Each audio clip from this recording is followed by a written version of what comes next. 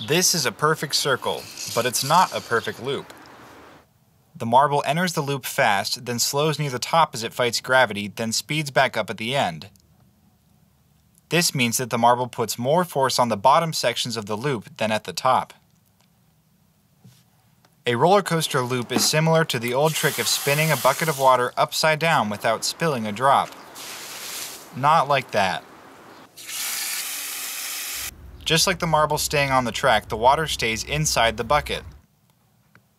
The water wants to continue forward, but pulling the bucket around the loop keeps the water inside.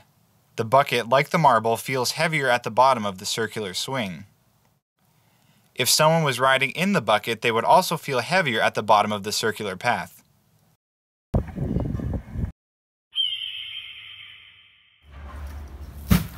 The secret to building a better loop lies in changing the track's path so that riders feel the same amount of heaviness the whole way round.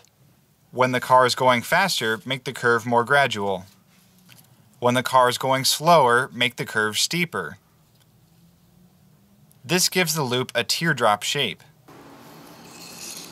The marble now applies force to the track more evenly the whole way round. Compared to the circular loop, the teardrop loop shakes less and actually helps the marble go farther. That's how to build a better roller coaster loop.